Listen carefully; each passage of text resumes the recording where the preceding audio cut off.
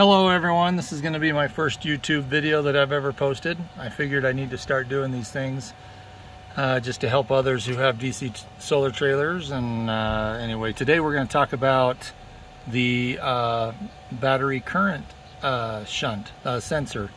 That's a shunt, it's behind this little device right here. And I'm going to show you how to uh, calibrate this thing and get it set up because it does actually make a big difference when the Sunny Island is charging.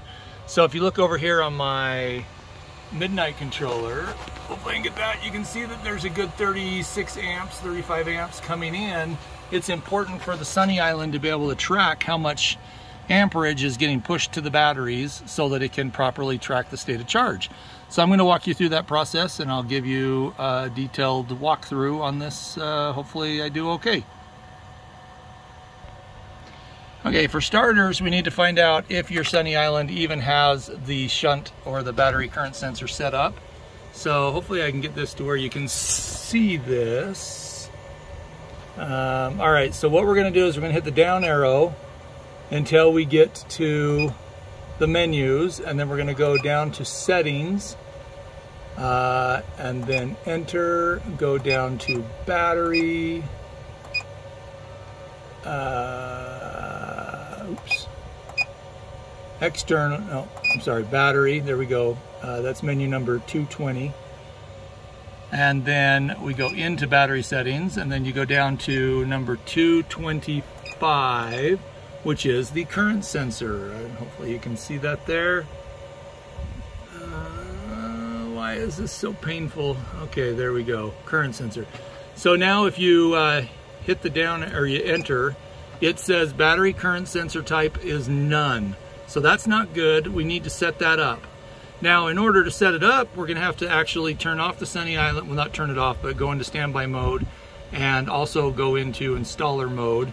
Because if I hit enter right now to try to change this setting, it's going to say stop the device to change this sensor type. So we're going to escape all the way out now to the main menu. Make sure the Sunny Island is shut off and now we'll go try to change that. We go back into settings, battery settings, which number 220. And then, oh, I wish you could see this a little better. And then we're gonna go down to 225, current sensor type, enter. And then if you hit enter on this none, it's now going to allow me to change it. There's 60 millivolts, and there's 50 millivolts and then it cycles back to none. According to the SMA rep that I spoke with, uh, most all of the Sunny Island trailers actually have a 50 millivolt sensor or shunt. So I'm going to go ahead and hit enter and say okay to confirm. And then if you hit down arrow, it now says what you want to put in your battery current gain. Um, other videos I've seen out online just say, oh, just use the default here, but the the rep at Sunny Island actually had me, or at uh, SMA had me change that to 500. I will have to do a little more research to find out what that 500 actually means. Could mean the capacity of the battery, and if that's the case, it would be 540. And then since there's two in parallel, I would even think it would be more than that, but this only allows you to go up to 1000 millivolts. So I'm not, uh, I'll have to do a little bit more homework on that, but for right now, go to 500, enter, confirm, yes, and there we go. Now we want to calibrate, which is the next menu item, which is number four. But in order to do that, we actually have to do a little bit of work on this guy. So I will pause the video and open this panel up and show you what we need to do inside there so that we can properly calibrate.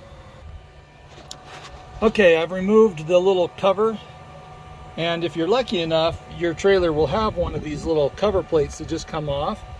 If not, it's kind of a hassle, but you got to take out these four screws, which can be really problematic since it's over on the, wait, yeah, over on this side. You got to like, uh, it's, anyway, it's just a hassle working around the door.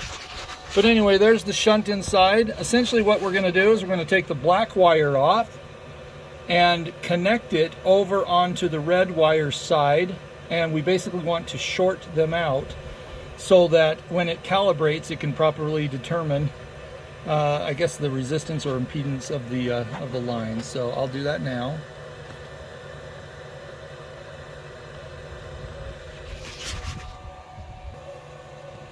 All right, so you can see here, I'm just in here unscrewing this.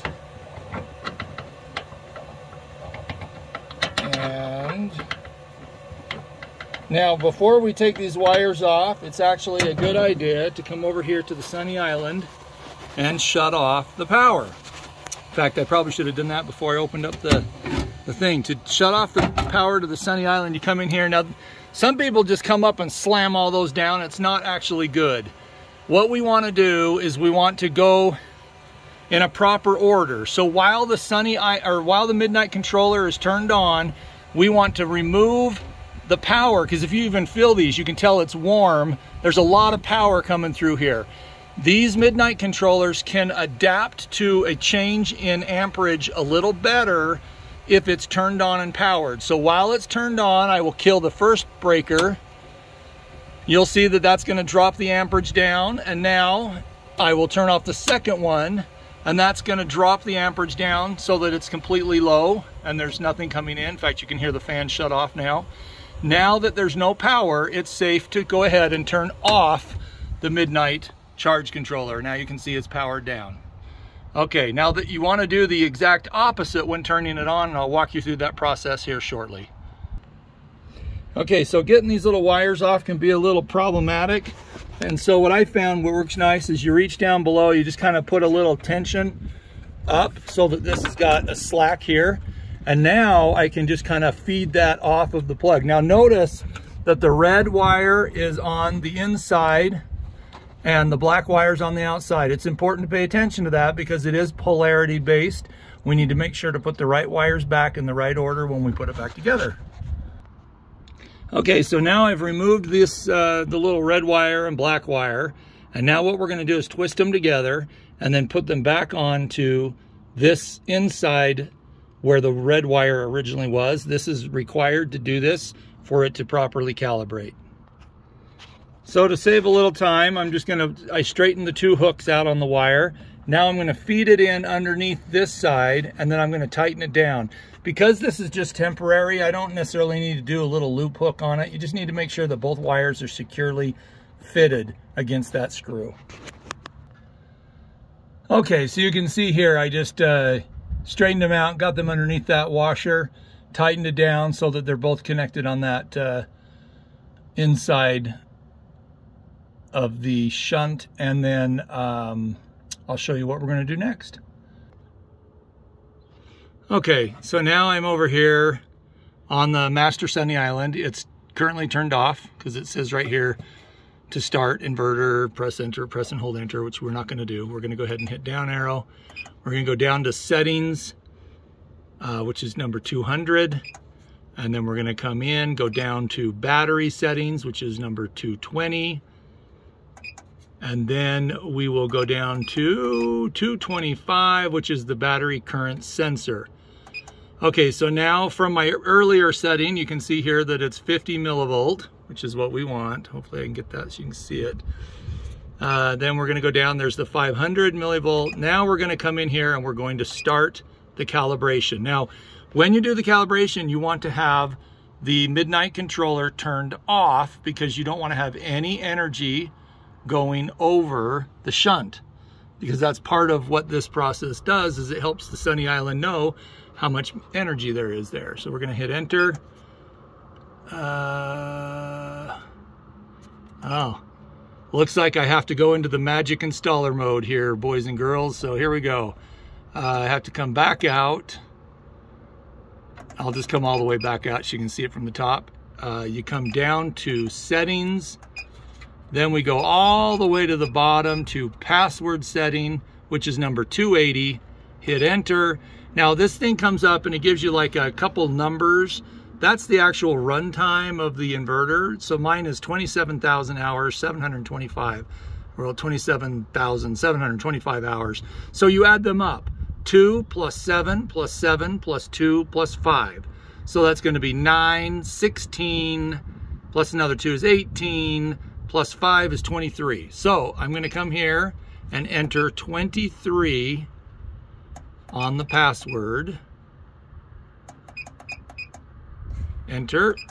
Now when I did that, you're gonna, you'll barely see on this side over here, the level went from a zero to a one. And that one indicates that I'm now in installer mode. That gives me more capability. Now listen, if you ever go into installer mode, please be really careful because you can actually mess up your equipment. You want to know what you're changing. And I actually recommend you have a little logbook that you keep track of what date and what feature you changed it from and to so that you always have a way to look back and see what you did on what day and uh, it's definitely worth it. All right, so let's now escape back out to the main menu, hit down arrow to settings, go into settings, go down to battery, into battery, uh, come down to 225 again, which is the current sensor. Go in there, the sensor type is 50 millivolt and it's 500 amp, which is what we want, eh, I'm assuming that amps, amps. Then we come down to number four, which is now going to be the battery current auto cal.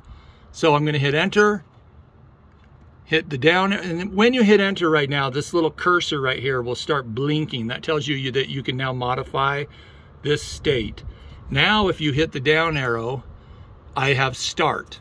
So I'm going to go ahead and hit start, okay, and it is done. Pretty simple for as much work as it takes to get there. Now, when I hit up arrow. Let's see, I gotta find the setting, which I'll show you here shortly. Uh, I'll pause. Okay, before we show you the sensor to actually tell you that you did it right, I want to point back to the to the shunt here. I'm now going to disconnect the red and the uh, black wire and hook them back up the way they were, which was red on the inside, black on the outside. Okay, now I've replaced the wires with the red on the inside, black on the outside, push the wire back down. Now I'm gonna put the cover back on, that little cover plate. I thought I'd just show you uh, me tightening these uh, screws down. I did not have a screwdriver tip that was gonna fit this. So uh, I'm using an Allen wrench. So just wanted people to know that an Allen wrench is an option if you don't have a screwdriver tip. In fact, I almost think the Allen wrench works pretty good. You just, that first, uh, that first, uh, just to get the, the, the bolt moving a little bit takes a little bit of extra torque, but once it's moving, it's good, so. And there you have it. I put the plate back on.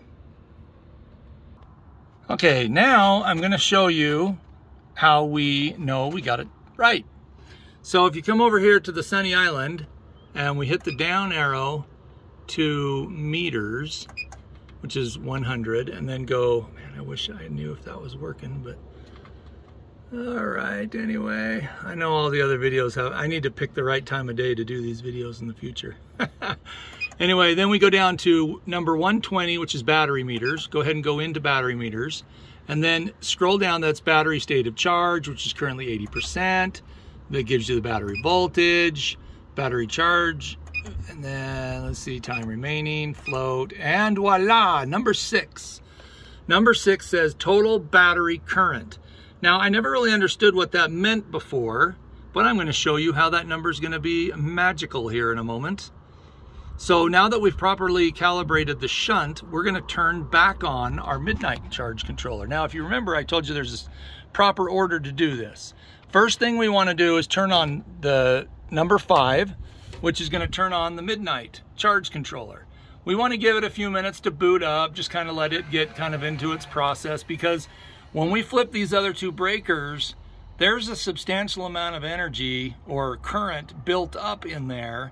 And if you turn it on willy-nilly and not really pay much attention, uh, you can send a zap of electricity or voltage so or amp so high that it can actually cause the uh, midnight charge controller to blow out some transistors that then require you to have to take the midnight controller out of your trailer and send it back to uh, midnight solar for them to repair it. I've had to do that on a number of uh, charge controllers and i must say i'm very impressed with midnight they do a very nice job and i love that they warranty those. All right, so it, it's up, it's booted. So now I'm gonna go ahead and turn on. And I don't do it all at once. I kind of do one, give it a second. You can hear some clicks in there. You can see that the amperage is starting to come in. Voltage is increasing. So now I'm gonna go ahead and hit the second one. And you can see that voltage is coming on here. Now let's wait till it kind of stabilizes.